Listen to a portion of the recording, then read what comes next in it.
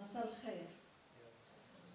الحضور الكرام شعراء وأدباء وإعلاميين إخواني وأخواتي باسمي واسم الهيئة الإدارية في المنتدى الثقافي المؤلفة من الدكتور علي عجمي رئيسا.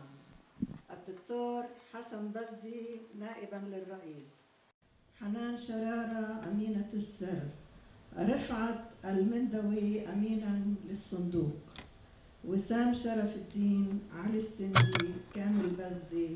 عدنان شرارة هاني البواردي.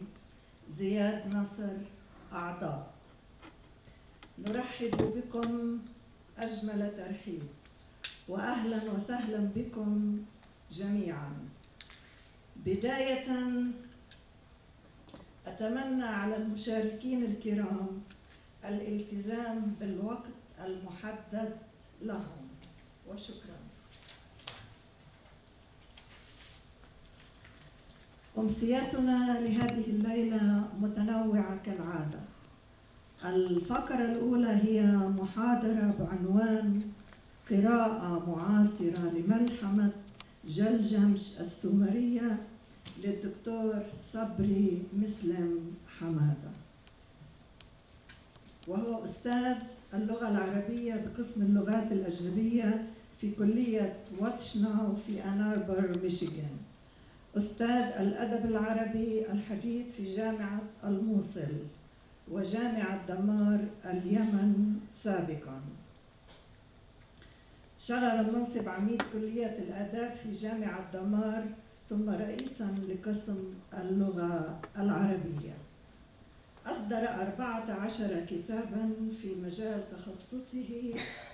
نذكر منها السرد وهاجس الصوت الخاص رؤى وتقنيات.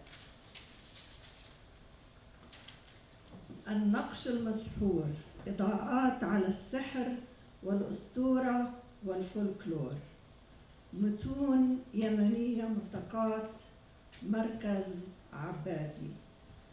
غلطة المناهج ورهافة النص ودراسات في نقد النقد.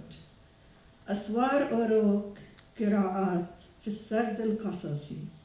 نشر عشرات المقالات والدراسات في الصحف والمجلات العربية. أشرف على عشرات الرسائل الجامعية في الماجستير والدكتوراه. لديه مجموعة شعرية لم يطبعها بسبب انشغاله بالدرس الأدبي. رحبوا معي بالدكتور صبري مسلم حمادة.